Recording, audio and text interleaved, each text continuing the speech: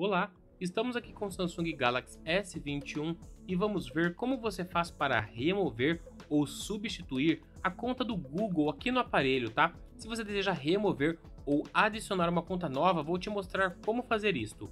Vamos clicar aqui em configurações, em seguida vamos rolar aqui para baixo até a opção contas e backup, vamos clicar aqui, em seguida ó, gerenciar contas depois aqui temos a opção a conta do Google. Aqui vai estar listado todas as suas contas que você tem no celular e aqui precisamos procurar a conta do Google. Vamos clicar sobre ela e clicar em remover conta. Em seguida, confirmar aqui embaixo, ó, remover conta.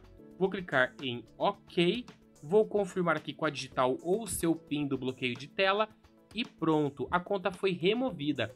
Para adicionar uma nova conta do Google, Basta clicar aqui em adicionar conta, em seguida selecionar aqui ó, Google e depois colocar a sua conta do Google. Você pode colocar uma nova conta ou criar aqui uma conta do Google ou colocar aquela mesma que estava, tá? Você pode fazer o login como você desejar. Então é desta forma que você adiciona ou remove a conta do Google aqui do seu smartphone no Samsung Galaxy S21.